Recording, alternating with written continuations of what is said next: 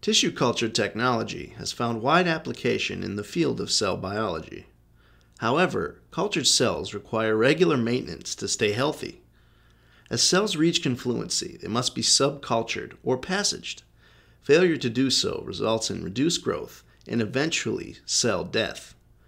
In this video, we demonstrate how to maintain tissue culture cells for both adherent and suspension cell lines. Hi, I'm Ricky, here at uh, Dr. Phelan's laboratory at Molecular Pathology Laboratories Network in East Tennessee.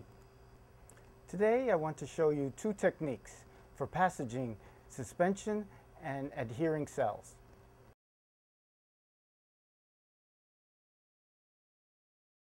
To passage a plate of cells, we will want to start with a primary culture grown to confluency in a 60 millimeter Petri dish or a 25 centimeter squared tissue culture flask containing 5 mils tissue culture medium.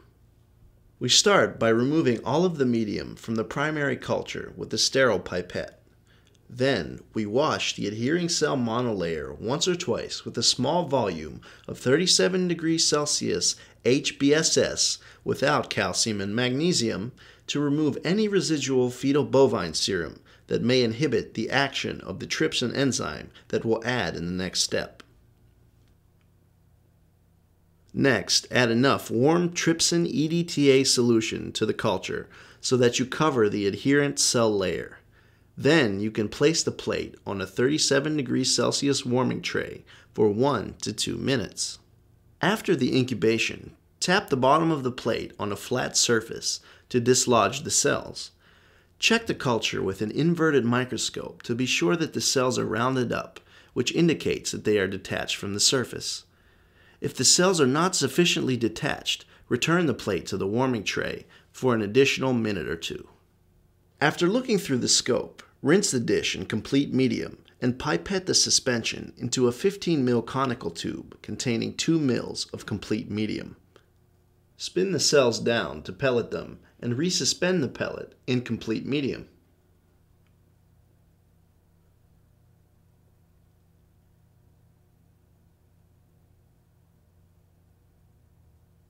Now, add an equal volume of cell suspension to each of the fresh plates that have been appropriately labeled.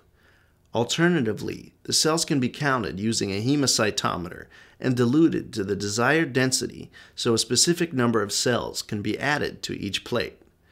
Be sure to label every plate with the date of the subculture and the passage number. After adding the cell suspension, place 1 ml of fresh medium to each new culture.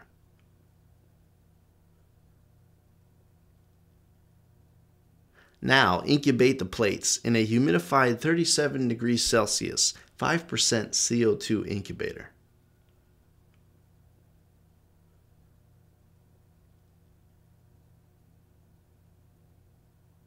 After you've incubated the cells overnight, add fresh medium to the plates and put them back at 37 degrees.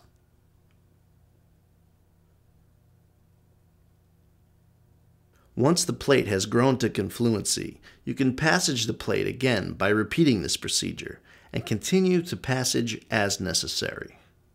Now we'll show you how to passage cells in suspension culture. Passaging cells